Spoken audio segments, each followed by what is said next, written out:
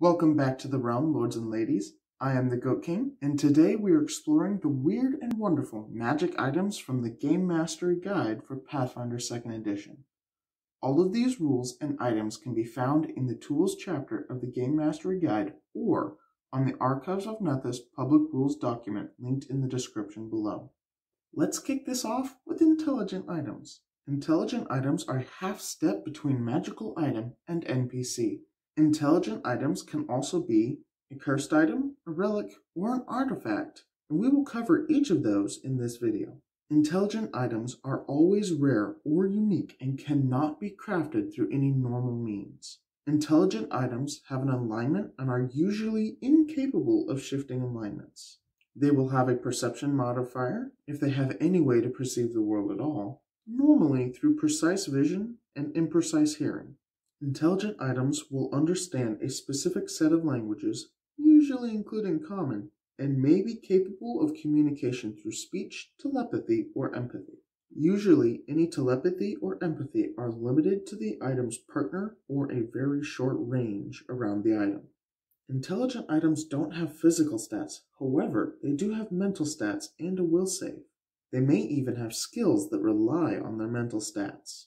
Intelligent items on their partner's turn get three actions themselves and can trigger their own activations or suppress any runes etched into them.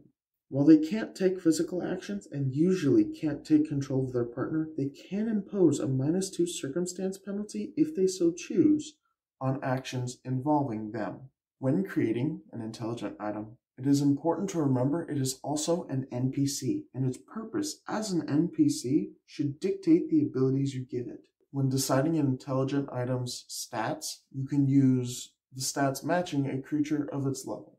Next up, and perhaps the most fun for your GM, is cursed items.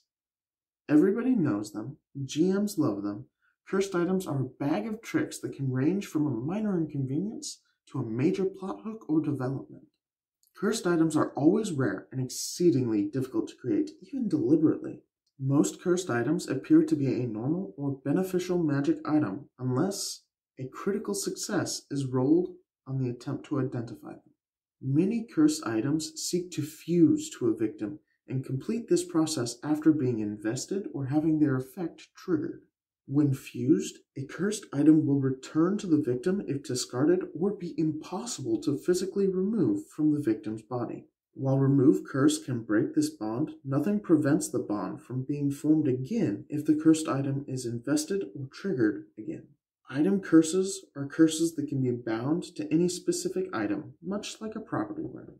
Now, for my personal favorite, relics. A relic, put simply, is a magical item that grows in power with its owner. A relic can be a plot MacGuffin or an intrinsic backstory item of a specific character.